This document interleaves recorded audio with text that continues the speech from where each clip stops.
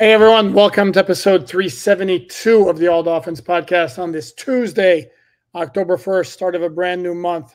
Hopefully, one that will bring better news for the Miami Dolphins because September was rather ugly. As Dave Hyde is here to join me and discuss on this day after. How would, how would we describe this performance against the Tennessee Titans, Dave Hyde? Oh boy, it took me back to 2007 when the Dolphins were one and 15, and I was yep. uh, didn't know what I was if I'd ever see a win that season. And I took or 2019 when they purposely tanked. I mean, when they were just awful. I mean, there are other years, but um, this is a surprising one, in that I didn't I didn't think they. You know, you saw signs that, like with every season, okay, is this going to work out or not? But I, I didn't see a full out collapse like this. No, it has been rather precipitous. Um, and we're going to get into it after we dissect the news of the day. And there was plenty of it in the day after Mike McDaniel press conference, including uh, the announcement that Tyler Huntley was going to get a second start at quarterback against the New England Patriots on Sunday, and a whole slew of injury updates. Um, let us proceed with the injury updates real quick, and then we'll get back to Tyler Snoop Huntley. Uh, again, this now we've passed four weeks, so this was the week where the Dolphins could have as many as seven players back from either pup with the, the three week window opening or back from IR as as designated per for return. And McDaniel indicated there would be two players that would be back to practice this week starting Wednesday, and those two would be wide receiver Odell Beckham Jr. and the other one being second year cornerback Cam Smith, which means the other five not quite ready. That includes Bradley Chubb, Isaiah Wynn, uh, Cameron Goode, Pat McMorris, River Cracraft. Um, the other guys per, uh, per Mike McDaniel are progressing well, but the only two back this week, Cam Smith and Odell Beckham Jr. Reminder: This is only the opening of the three-week window. Does not mean that Odell Beckham is going to play against New England. It means he'll be back at practice, and now the, the clock starts on the three week window. First off, Tyler Huntley getting a second start. Part of the reason Mike McDaniel said Mike McDaniel said is that Skylar Thompson's rib injury is laborsome, is the word he used. Uh, thoughts on that one? Well, I, I, mean, you're looking at best option available, right? I mean, I, I assume that it's, it's that. And and look, last night wasn't Tyler Huntley's fault. He's in camp two weeks. He's he's a uh, practice quarterback off Baltimore. Um, he made some plays. He made some. I'm sure he wants some plays back, but there there are bigger bigger issues than Tyler Huntley. Starting with. Uh, the decisions to on the quarterbacks. You know, how did they get in this position? You know, but but I have no problem with Tyler Huntley. No, and here's the thing: Tyler Huntley last night was basically who Tyler Huntley is. He made some plays with his legs, led the Dolphins in rushing with 40 yards, and he was inconsistent with the passing.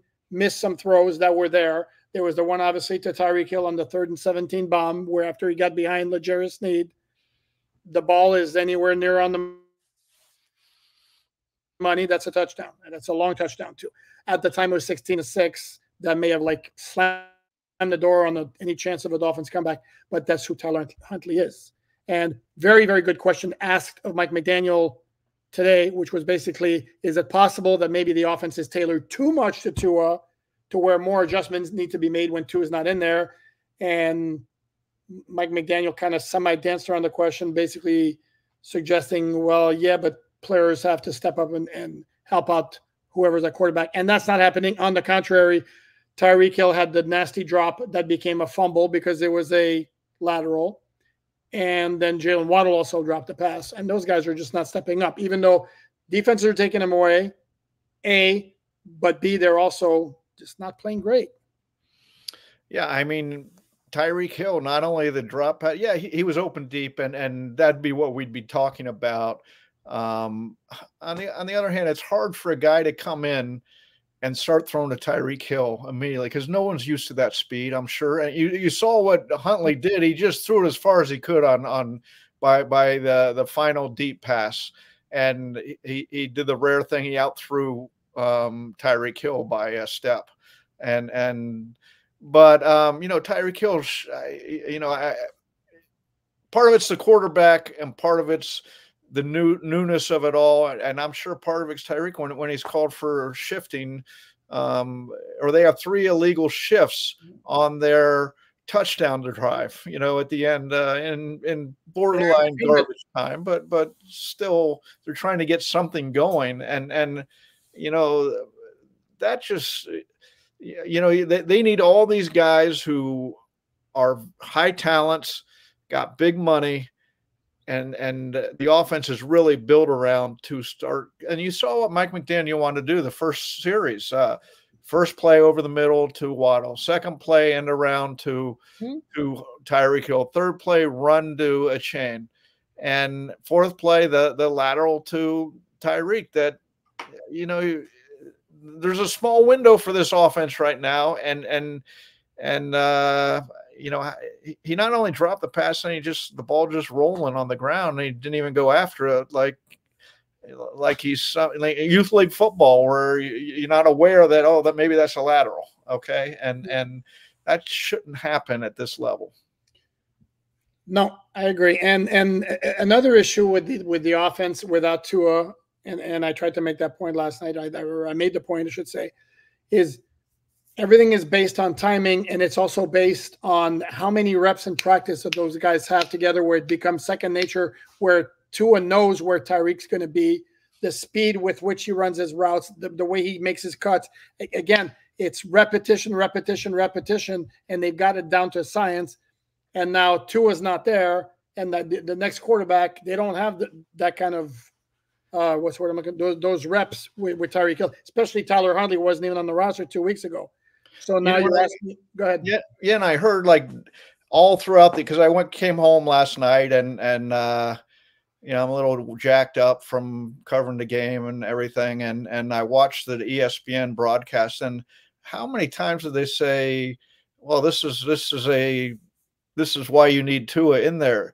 Look, this offense has not done well going back to the end of last season. Okay, they five of those starts were Tua. Five games were Tua's. Two mm-hmm. games were the the backup. There's a steep drop off to the backups. Okay, I, I get that but this offense struggled. It hasn't scored over 20 points in those seven games. Okay. So it's not like, uh, and it's had one good quarter, really, the, the fourth quarter against Jacksonville. So it's not like, you know, Tua was lighting it up either with what was going on here. And so that presents more problems of what is going on here. Have defenses taken away the passing lanes, which is part of it. Um, or does Mike McDaniel need to find another level for this, or they aren't running the ball well this year either? And and you saw Mike McDaniel's play calling last night on fourth and shorts. Like he does not trust this offensive line when they're running end arounds and sweeps on fourth and inches or fourth and one, and it's mind-boggling over what's going on. So we're back to there. Are, there are some big problems here beyond the quarterback. Yeah, and it seems like the Dolphins can't win any, or very few, I should say, because there there were there were a couple of nice runs up the middle, but they rarely win battles up front with one-on-one blocking that allows them to go up the middle. So they basically are are left to try to go outside, and I think defenses are hip to that, and it's like no, oh no, you don't. And you saw like on that fourth and one jet sweep with Tyreek Hill, well, the linebacker Kenneth Murray got a head start heading straight to the sideline. And he got there so fast that Patrick Paul, he was able to get around Patrick Paul, whose job was to get to the second level and, and cut him off.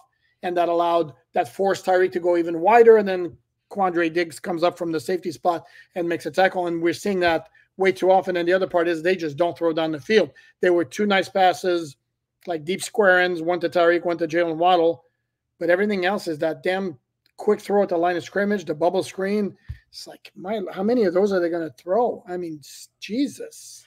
Yeah, it, it is like it's built on Tua. They they don't want him to get hit, so they're getting rid of the ball, and it's also built again. I they trust the two tackles when Terron Armstead's in there, and and but they don't trust the line as a whole. And and I I get we were chuckled at by the media was chuckled at by Chris Grier for bringing this up, but you know it's an issue. It's a legitimate issue, and um, you know it's it's not like ten- Tennessee was without Jeffrey Simmons too. We talk about the Dolphins injuries. I, I get it, and, and legitimate injuries to talk about, but the other side has injuries too. If Jeffrey Simmons in there, he's a game wrecker. He's a game plan wrecker, and and and that Seattle was without two defensive tackles. They're two starting defensive tackles. At some point, they're going to run up against a defense that is uh, healthy in the middle, and then who knows what's going to happen.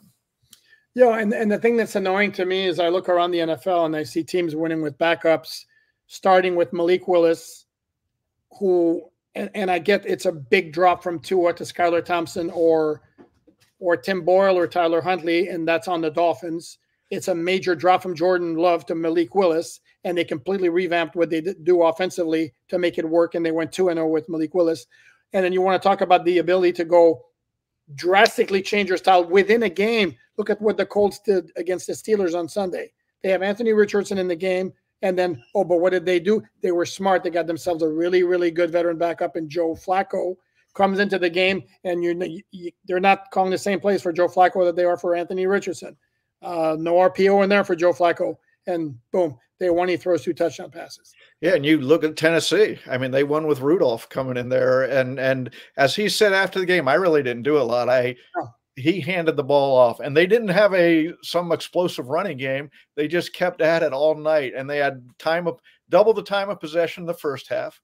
That's their game plan, I'm sure. Wear down the clock and and keep running the ball up the middle and and we'll average 3.6 yards a carry, but that will be good enough um, because the Dolphins the Dolphins aren't going to score on us, and so um, teams are winning with backups. Um, the Dolphins just look awful with with their quarterback room, and the decisions they made in February and March are coming to haunt them right now. Bad. I apologize for the background noise here. I got my two cats who normally love each other right now. Oh, they're in fighting mode fighting us. See, nobody's happy in South Florida right now. Exactly. They're like they're debating the, debating the offense and then whether it would, would be humming with Tua in there. Uh, back to like the, the Titans. I said before the game to me, one of the keys to victory for the Dolphins was Will Levis being Will Levis and turning the ball over. And lo and behold, right away he basically gifts Emmanuel Ogbah. Here you go, Emmanuel. You're playing well. You're trying hard. I'll let me throw you the ball right at you because I'm not recognizing the zone blitz over here. But what, then he left the game. Hog was what six five? Yeah. Eh, how did how did he even see his receiver? That's why I, I when I rewatched the play, I was like, how could he even find his receiver looking beyond Ogbah? Because Ogbah was standing right there. And so, but yeah, I'm with you. I'm with you. I figured Will Levis would be good for a couple bonehead plays like he usually does. The Dolphins' offense they got enough talent that they'll make do and and they'll come through. And uh, but, then it became, but here's the thing: is that once Will Levis left the game, I'm sure Brian Callahan told Mason Rudolph, whatever you do, we're not going to ask you to do anything. Just don't turn the ball over. Yeah. And that's what they did because they figure the Dolphins are not going to hurt us because Tennessee does have a very good defense, even without Jeffrey Simmons. And I'm going to say it again. I said last night that guy in the middle of the defensive line is a stud with a capital S. Yeah. Sweat damn, that guy can play. Yeah. Um, and that was that was basically it. And the Dolphins basically couldn't get out of their own way offensively. It was, and as I look ahead, because of the way the offensive line is operating, to me, their best shot again, if they're going to go with Tyler Huntley, do what he does best. Call some RPOs. I mean, and they were like there were a couple of quarterback draws yesterday. Go back to that. That's what he does best. I, I would think they just got to get him I mean, he has to be a little comfortable with what he's doing, though, and and the people around him, and and you know, the again, the mystifying part to me is a tight end would be like an insurance, a comfort blanket, I would think, for a quarterback, and and you you, you don't see any of that. Um, you don't have a power back at all. Achane's back there running, and and so you you couldn't do what Tennessee did, which was say we're going to have our line beat your line just enough, barely enough that we'll keep the will you know we'll move the sticks, move the clock, keep the ball, and wear you down over the course of a game. Um, you know that that that game, uh, I'm sure ESPN loved the ratings from that because that was, I'm, I'm sure they loved having his second game starting an hour later so people could dump off to that game nationally. Yeah, I, I personally I remember when the schedule came on, I'm like, why why Tennessee and Miami again on Monday Night Football? I get that last year became a, a good game, not for the Dolphins, but in terms of if you were if you were neutral, it was an exciting finish you know, the, the 14 point, 15 point comeback, 14 point comeback, whatever in the last three minutes. But Tennessee was exposed, was expected to be a bad team with a new coach, and I didn't get it, and that's what we got. Uh, and then you mentioned the tight end position. Well, uh, Tyler Huntley completed two passes to Tanner Conner on the last two plays of the game, yeah. which meant nothing. Outside of that, the final numbers for the tight ends in the passing game: one target, zero receptions yeah, combined. I, I, that's why I'm just stunning to me. Be, again, not that tight end has been a big part of the offense I, at all this year, and but I keep expecting there's some easy passes there. There's some easy to passes to be made, or but I guess not. I, I don't think anything's easy for this offense right now, and for them to go from where they were last year for the first two and a half months, mm-hmm. say to now is is stunning. They're again they, they last in the league in points. 11. Now they play the team with the second fewest points per game in New England at yep. 13. You talk about an exciting game that's coming. And, and, anybody who scores a touchdown in this one must feel like it's gold. By the way, the the three point scoring total for the Dolphins during this current stretch. It's 25 points. It's their lowest. I'm not counting 2019 because the Dolphins basically were trying to lose. Uh, it's the lowest since the first three games of the 2017 season when they had Jay Cutler at quarterback. And they also had 25 points in the first three games. They won at the Chargers 19 to 6. Then they lost I think it was 20, uh, sorry, 19 to 17, and they lost like 20 to 6 against the Jets, and they got shut out in London by the Saints 20 to nothing. Um, and th- this is where this is where we're going right now. And quite frankly, the way the offensive line is operating, although I should point out Terron Armstead, there's a possibility could be back. Um, Mike McDaniel said Tuesday he's hoping that both he and Kendall Fuller will get cleared this week that would make a difference. Even with that, the offensive line is not playing well, is not impressive. And the interior of the offensive line is a complete mess. And I have a hard time seeing the Dolphins like doing a whole lot. I'm sure this not gonna, probably may not be as bad as it was last night, but where where's the optimism that all of a sudden it's going to get fixed? Yeah, and the only hope is Huntley gets comfortable enough with his receivers and the offense that they create they hit a couple of those, one or two of those big plays that that you know, you know, L'Jarius Sneed was playing uh, Tyreek Hill man to man some last night, um, which was kind of shocking in itself.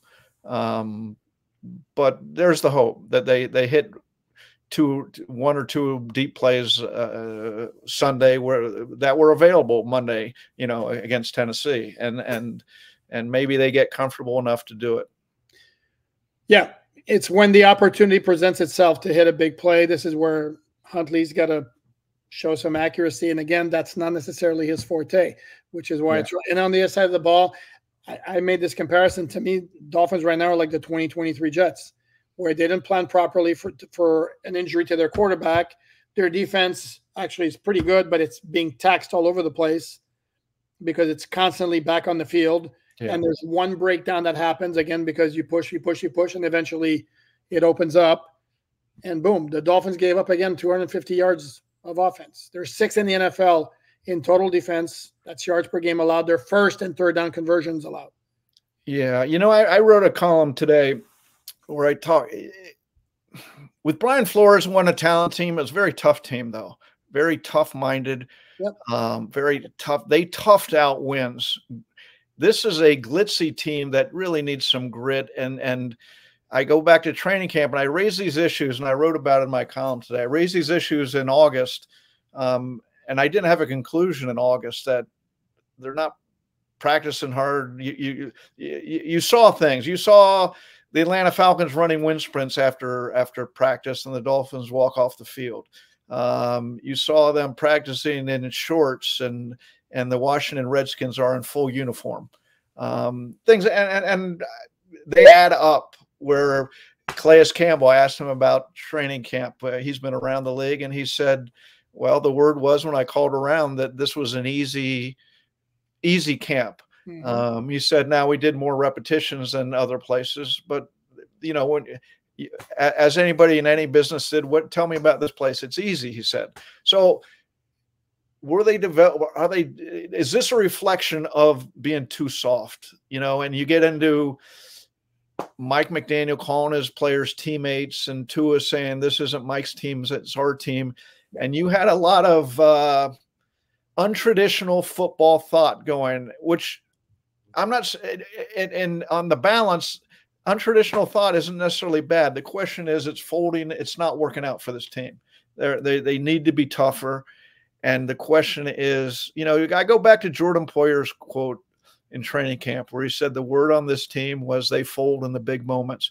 We haven't even got to the big moments really in games because they're losing. They they've lost the last three games by uh, what the low the closest was last night, 19 points. Um, so um, I, I you know this team needs to get a lot tougher real quick except with who would be my question. Is this yeah. not this? That's not how they're built. And and my whole thing, I, what I've said all along is has been it's been their margin for error. I mean, they have a track team when and, and when everything is right, it's great and all that. Except their margin for error, the execution has to be like on point, very precise, and all that. And anything that throws off the timing is going to mess everything up. Whereas teams that overpower you Pittsburgh, Baltimore, even Buffalo, KC at the line of scrimmage, those types of teams can be off. Patrick Mahomes, for example, has been off the, like for two years now, except that they they tough out and they grind out wins.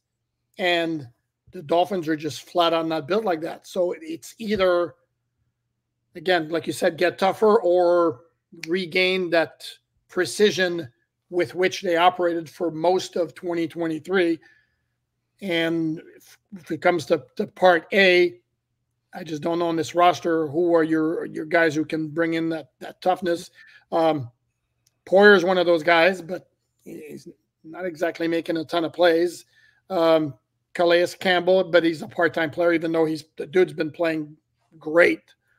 Um, but there's just not a whole lot of guys like that on this roster. Yeah, and that's the question as the season goes on the guys in their 30s where they you know you got to watch this and, and overplaying them earlier and how they're going to be and and w- what you thought would be the big games in december and january um you know they need them now and and you know jordan poyer's it's it's he's hurt it's, it's um, what I'm trying to remember, Mike Mc, sound like he's not. I, I wasn't sure whether he'd be. available. They weren't sure whether he'd be in or out this week. Correct and and um, so that's something to watch. Um, but but to me, the surprise of this season to me is the defense is holding up pretty nicely. It's fine, and and, and the offense is just a, a disaster.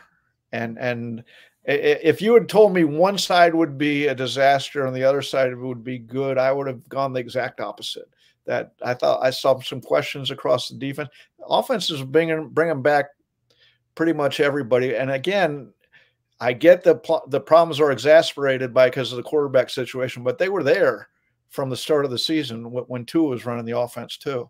And so, um, you know, Mike McDaniel's going to have to. I, I, hear what you're saying. It's a precision offense, and when you're not precise, it really looks bad. And that's where we're at right now. Yeah, a couple of quick uh, note keeping notebook, record keeping items. Uh, you mentioned Jordan Poyer. Yeah, he's he's it's a shin injury. He left the game early.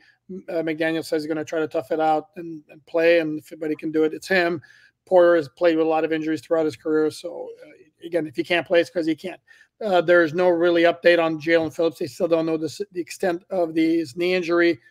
Uh, McDaniel said he's basically not playing Sunday against New England, and we're going to keep our fingers crossed. It's nothing serious. Yeah, that's that's a brutal one because of what he came back for, and he's to me, he's the epitome of what the Dolphins want to be. You know what? You know the the mindset, the the young in their prime talent, and and uh, for him to you know keep getting hurt like this is uh, you know it's it's tough to watch. No, it's rough, man. Jeez. Um, and I go back to the offensive line, and my point all along was the Dolphins don't ask their offensive line to do a whole lot based on right. the fact that their running game is predicated on misdirection and getting defenders to run themselves out of the play. Well, that's not happening this year. And so now it becomes mano a mano, and Dolphins are just flat on not good enough. And this is where they took massive personnel downgrades when they let Robert Hunt and Connor Williams both leave. No offense to Liam Eichenberg playing at right guard or Aaron Brewer, the new starting center. Uh, those guys are not performing anywhere near the level of Hunt and Williams last year. Yeah, I, I look. They had to let Hunt go, getting twenty million dollars. I mean, I, I get that. Um, but remember, and, and but the the talk like Tua saying, you know, I don't care what's playing in front of me because I'm just going to throw the ball so quickly. I mean, it, it, okay, when you're in there and against bad defenses, that's fine. But there are going to be time you need some help, some physical push, yeah. something up front. As you said, winning mano a mano, and and that's not something you can trust they have because they're they're what's what are they four of thirty on third and fourth downs. Okay, and and obviously not all those are short yardage, but last night fourth and one um, they didn't. Mike McDaniel didn't even trust running into the line. That um, fourth and one in uh, Seattle at the Seattle 39. All last year he would have gone for. He's kicking a field goal. These are telling signs what he thinks of the offensive line. Correct, absolutely. And I remember when when Tua made that comment, it was like it was attention grabbing and all that, and then it's cool in a way, but then I mean, what's he what's he saying about his guys up front? You know? Yeah, yeah. Uh, that, so. and, and again, you you can't seasons twist and turn, and all of a sudden the backup quarterback's in. Well, he doesn't have the same skill set, or and nor should he, as Tua, right. and and all of a sudden you need that offensive line to be a little better and and help help. You need everybody to little, be be a little better. Okay. And so for them just to dispatch, oh, who cares about the middle of the offensive line? And I'm not just Tua, but I'm talking the guys who are making the decisions, Chris right. And McDaniel. Um, you know, uh, uh, you know, they're getting they're they're they're getting all their decisions are coming back to haunt them in in some places. Yep. And then instead of everybody picking up their game to compensate for the loss of, the loss of Tua, it's gone the other way. Yeah. And as a result, we have what we have the Dolphins sitting at one and three. And right now, I believe it's Tankathon has him with the second overall pick in the 2025 draft as of now, um, behind only the Jacksonville Jaguars who are 0 4. So, uh, again, chance to get back on track against another really bad team, the New England Patriots on Sunday. But at this point, we shouldn't be taking anything for granted. That's going to wrap it up. Uh, please like, subscribe, share all that good stuff. Want to again thanks Dave Hyde from the South Florida Sun Sentinel. Catch his work at sentinel.com. I did read your column. I thought, in fact, I messaged you or sent you a text saying yeah, it was a great column. So thanks for. Let's hope someday we have something better to talk. Some good news. You know, I, I feel too much this past quarter century has been, and here we go. I feel we're, the elevator's going down again, and uh, it's not a fun ride It's been a rough start. Let's put it this way. And hopefully your your evening, the rest of your Tuesday is not rough, but very, very enjoyable. We'll be back here on Wednesday. Thanks, everyone. All righty.